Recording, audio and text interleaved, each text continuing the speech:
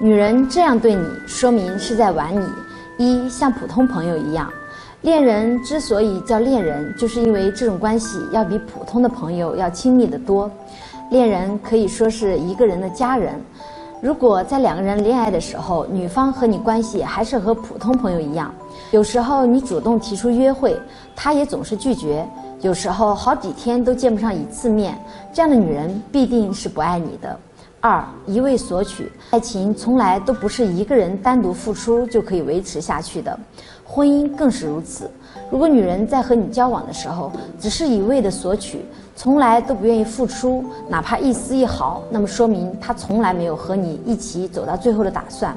她可能只是把你当做一个暂时的心灵慰藉，或者说只是把你当成钱袋子而已。三不告诉朋友你的存在，女人都是虚荣的。当她找到一个自己深爱男人的时候，她一定会像小孩子一样，向她朋友们炫耀，告诉他们自己有了值得自己深爱一生的男人。如果一个女人根本不向朋友提起你，也不愿意接触你的朋友，那么说明她只是在和你玩玩而已。